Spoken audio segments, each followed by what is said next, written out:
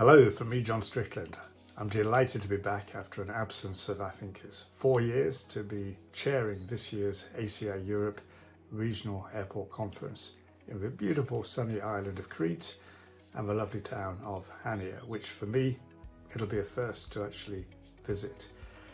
There couldn't, of course, be a better time to get together for the regional airport community. We all know about the problems we experienced last summer. There were many and varied. It was a, certainly a challenging summer season.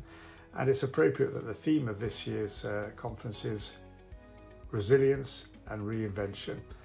Many things that we can learn from last year, and we hope we can put right this year, and time to debate these topics uh, with expert input from across the industry, not only from airports but from business partners, including airlines, and the chance for discussion at the many social aspects of the event too.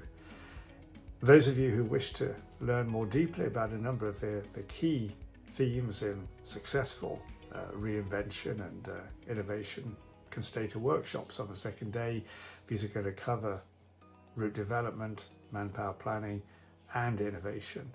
It's really going to be a great opportunity, and I'm certainly looking forward to it myself. I hope you are too. Take a look on the website and see what the program has to offer for you. Don't leave it too long to get booked up and I will look forward to seeing you there in a matter of weeks now.